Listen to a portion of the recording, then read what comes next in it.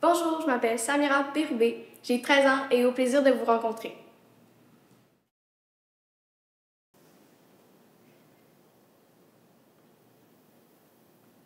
Excuse-moi, est-ce qu'on se connaît? Mais ça, je t'ai déjà vu quelque part. Hum... Non, je pense pas, non. Ben, je suis pas du coin. Ah. Qui, mais on s'est déjà vu. Ma face, ça te dit rien? Euh... Non. Je crois pas, non. Tu connais Phil? Phil... Ah, Philippe Trudel? Non. Non, Gagnon. Phil Gagnon. D'accord. T'habites à Laval? Non. C'est bizarre. Ouais.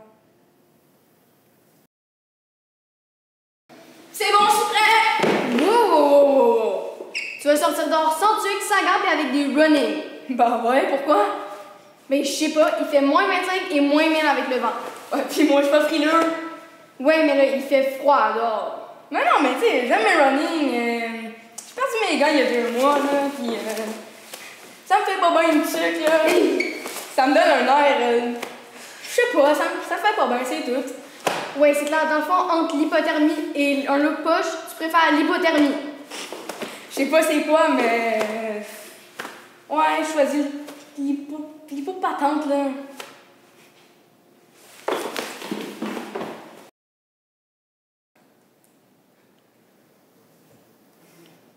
C'est demain les funérailles. J'arrive pas à être trop. J'ai encore l'impression que c'est un rêve. Un très mauvais rêve. Ouais.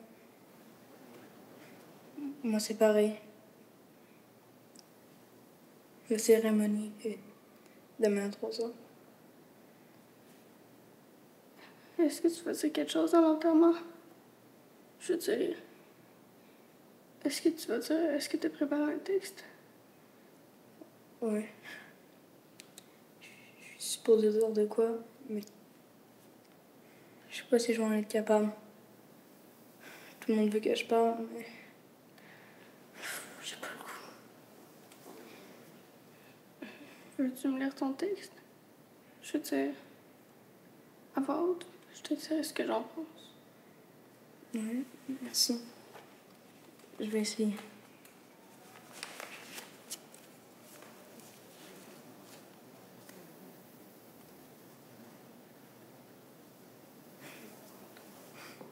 Hein? Arrête de pleurer. Fais-moi ton texte. Je vais le lire.